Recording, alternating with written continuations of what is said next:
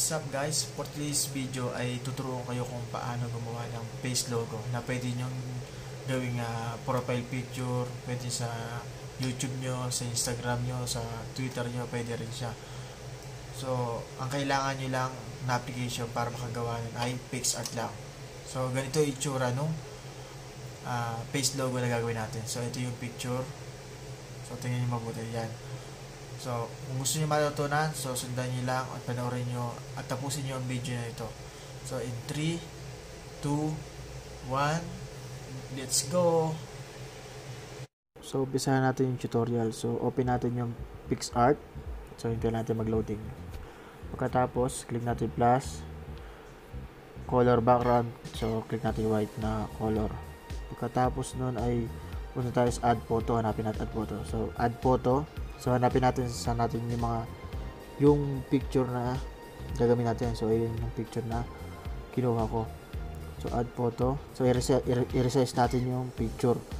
Kung gaano kalaki gusto natin. Yan, ganyan yun. Basta i-drag, i-drag lang natin. Okay. Na-drag na natin. Pag okay na yung size sa inyo, so click niyo yung picture tapos hanapin niyo effects tapos sa colors punta kayo sa black and white. Pag naklik niyo yung black and white click ulit yung black and white tapos yung amount niya para yung itsura ng uh, picture ay magmukhang ayan ganyan. Pagkatapos click niyo yung uh, pa, eraser. So, buburahin natin yung gilid. So, parang bilog na style siya kasi lalagyan natin siya mamaya ng circle na circle. Pagkatapos nun, click natin yung check.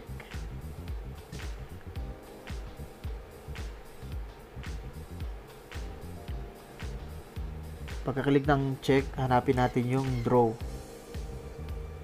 ayun yung draw tapos click ulit yung draw.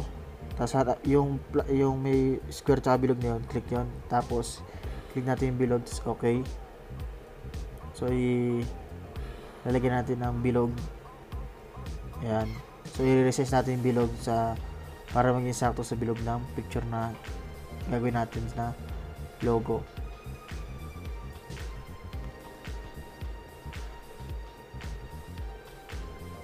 So, check na natin yon Pagka-check na ay add natin yung photo. So, mag-add tayo ng photo. So, yung uh, i-add ng photo, yun yung background. So, click natin yung picture na gusto natin background. Then, add.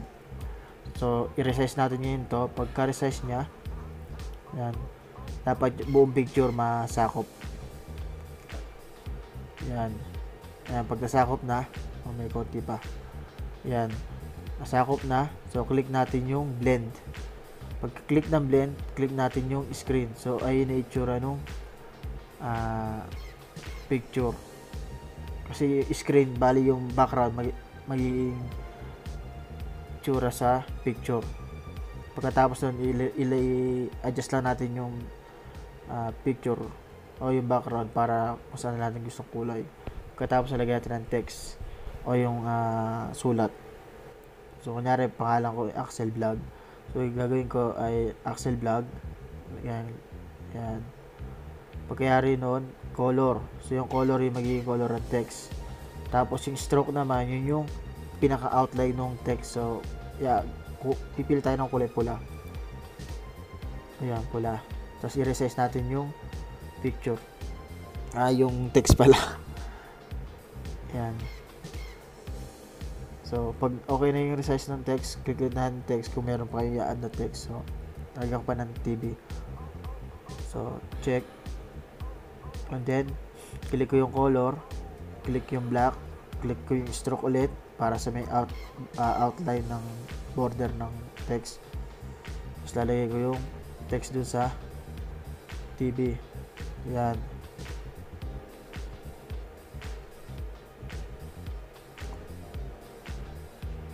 So, kung gusto niyo lakihan, gusto niyo liitan, kung ganyan gusto niyo style, pwede rin. Pwede rin ilagay yung mga pangalan niyo yan.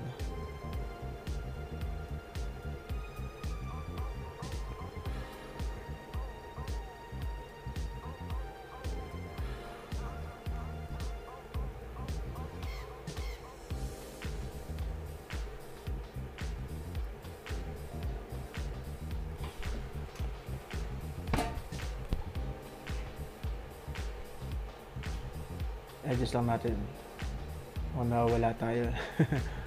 Pero sundan nyo lang yung yan yan okay na siguro ganyan laki i-adjust ko na lang yung text. Yan okay na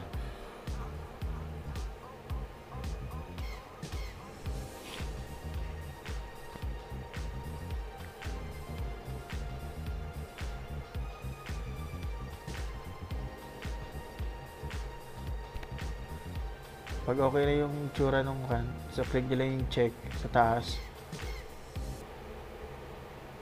Tapos click yung arrow, then click save.